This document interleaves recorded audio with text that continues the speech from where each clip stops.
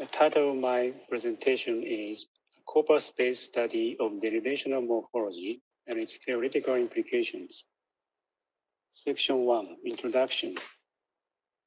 The system of derivational morphology contributes greatly to children's acquisition of vocabulary by enabling them to generate an infinite number of normal, uh, nominal, verbal, and adjectival complex words.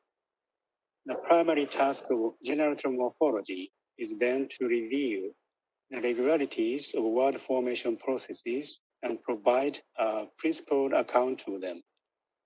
As part of this enterprise, the present study attempts to show how the system works in producing able final words in English, exemplified in a skilled and constantly reskillable workplace, workforce. The adjective has a modalized passive sense of can be reskilled, and it is a affix,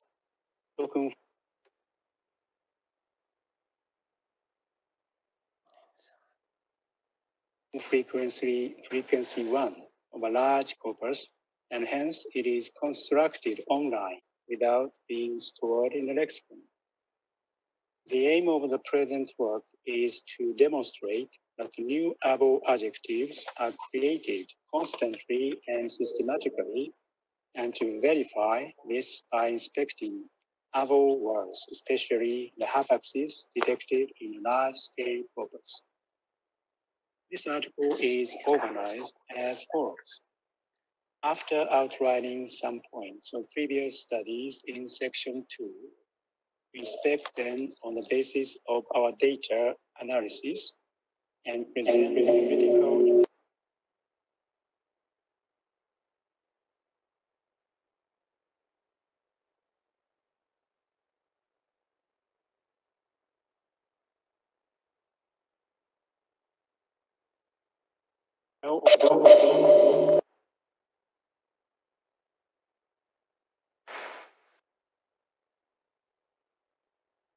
and so on. Um, there are many treatments of the suffix in the generative literature, Chapin 1969, and so on. A review of the literature identifies four attributes that merit special attention. Uh, one, the formation of the verbal, especially transitive-based words, is very productive. Two, able attaches only to transitive words, adjective words, and nouns. Three, able phototypically makes an adjective with a mixture of passive and potential senses.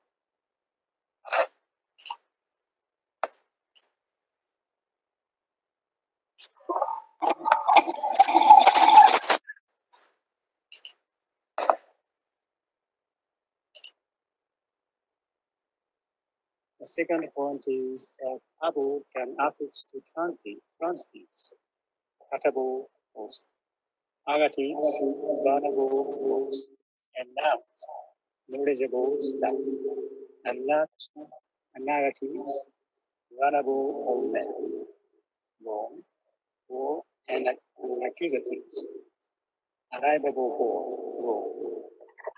The fourth attribute is demonstrated by the contrasting acceptability of A. Those things are constant. E. E. Those people are vulnerable, agent. C. Those people are constant. O. And it's going to stress. Section three, observation and generalizations.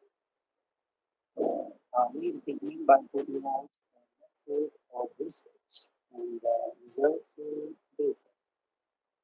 By repeatedly using the wildcard function of the research engine, the frequency of words in the output is checked to find hapaxes in British national context of 100 million moments. As for ascertaining the total number of types of other words, we make a list of those which are included in NANAC 1971 and attested in BNC. As a result of the research, we have gained 662 word types.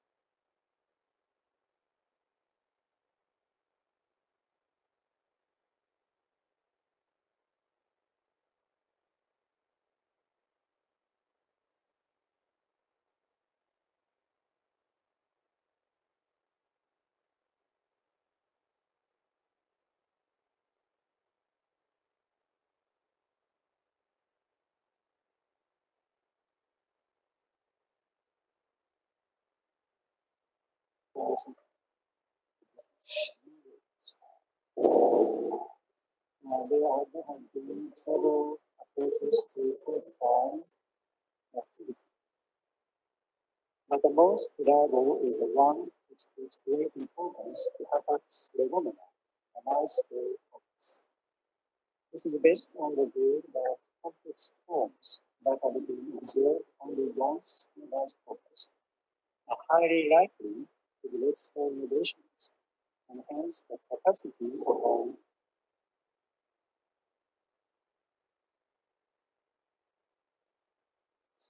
blood formation to create new forms crucially involves the degree to which a new produces was with extremely low frequency. Ryan and Wolf propose a productivity measure. Productivity P equal N1 divided by N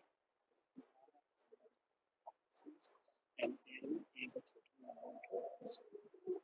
Here, we divide these tools to face the total number of tokens and the denominator as P equal N1 divided by V. V is the number of tokens. This is derived from the process is reflected in the time frequency of the process.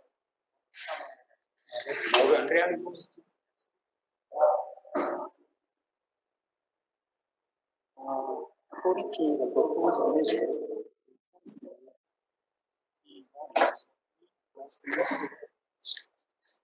one, uh, one which attaches to a verb, two, one which adjoins to a noun, and three, one which adjoins to a noun word. Uh, verb attaching abo is further divided into three subclasses. The results of the research can be provided in tabular form. Uh, table 1 shows the verb abo affixation P equal 0.336 is much more productive than the nominal abo affixation P equal 0.154 and stem-based abo affixation P equal 0.161. Uh, there's a set of abo words which are based on negative verbs of intransitive use in crackable words. Their productivity value will be very high in the present measure, P equal 0.700. It should be noted that the total number of types of these abo words is very low, 10 word types. In this connection, Baayen and Lieber suggest the global productivity, P asterisk. The P asterisk of an affixation rule is defined in terms of its coordinates in the P-P interaction region with productivity P on the horizontal axis the types V on the vertical axis. A productive affix occupies a central position in the region. By this definition, a case where the number of word types is very low, like the one in question, falls outside the domain for productive process. It can thus be concluded that abo fruitfully joins to transitive verbs, but not to intransitive, intransitive verbs nouns, or non-word stems. Uh, let's go to slide five. Uh, 3.2 uh, Syntactic categories of able bases. This section inspects the second point of the previous studies. Uh, attaches only to transitive verbs, adjective verbs, and nouns. The 662 able word types of obtained are classified in terms of the syntactic categories of their bases. Transitives, adjectives, and negatives, and accusatives, nouns, and stems. Uh, each type of verbs is defined on the slide.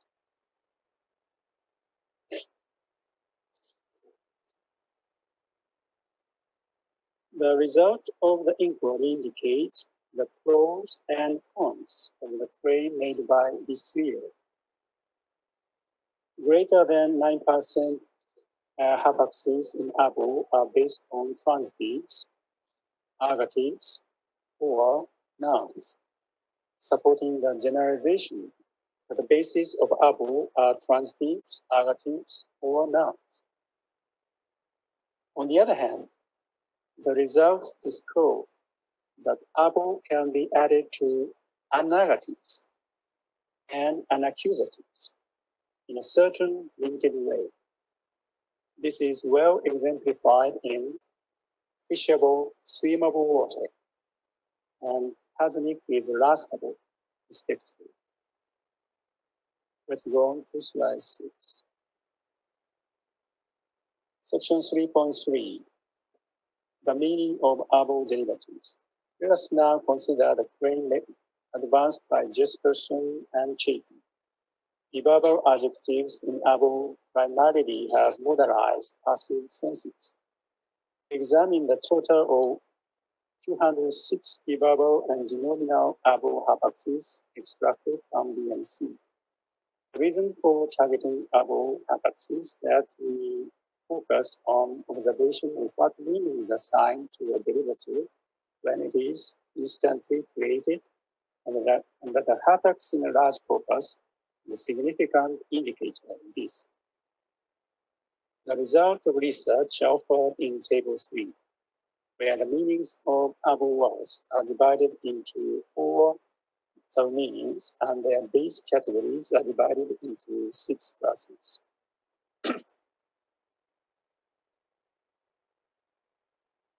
The notable findings of the research lead to three empirical generalizations. Uh, to begin with, in agreement with Jespersen and Chapin, the primary meaning of words is a mixture of passive and potential senses. Greater than 80% of new words in able have this sense, for example, affirmable. Uh, let's go on to slide seven. The sub meanings uh, 2 to 4 of A able are judged to be non-central ones.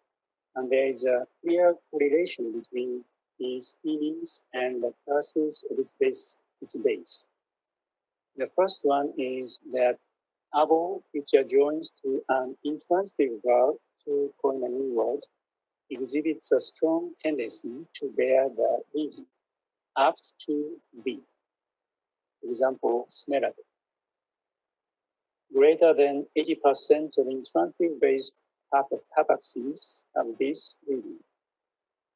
The second correlation is that non-incorporating new able adjectives have only the sense suitable for, for example, filmable. Section 3.4, restriction on external agree, uh, agreement. Uh, this section examines the restriction on external argument pointed out by Williams. An able adjectival can be predicted, uh, predicated only of a theme phrase. Uh, denominal and stem-based able words are excluded from our analysis since non-derived nouns and stems are relevant to arguments. In total, 595 types of Abel derivatives uh, are obtained and they are classified in terms of the thematic roles of their external arguments. Table 4 indicates the ratio of Abel walls involving each thematic role which the external argument assumes. Let's go to slide 8. Uh, the condition under scrutiny is almost confirmed by this research. We can see that 99% of Abel hapaxes and about 98% of Abel types take theme as their external arguments. It is worth noting, however, that there exist cases which are inconsistent with this condition. The external argument is satisfied by a non-theme phrase. For example, in the Thames at Abingdon, Abingdon was very fishable. The location argument, the Thames of the underlying baseball fish occupies the external position of Abel construction. Similarly, the source argument trusted both in the following example place in the external position of Abel construction. The development high molecular density polyethylene has made plastic balls much more acceptable. Uh, let's go on to slide 9. Section 4, Theoretical Implications. We have shown that one, Abel is productively added to transfer verbs to yield modalized adjectival passive words, and the external arguments are generally assigned the theme interpretation, and two, Abel is rather peripherally involved in other kinds of bases and other sorts of external arguments, and produces adjectival active words. The former process constitutes the core domain of Abel affixation, and the latter is called peripheral Abel affixation, lying just outside the core. Let us discuss core Abel affixation first. The relevant information on Abel word formation can be formalized into the core lexical entries of Abel as demonstrated in 1. Um, I'm afraid that I don't have enough time to explain the rule, and so let's go to section 4.2. Let's go to slide 10.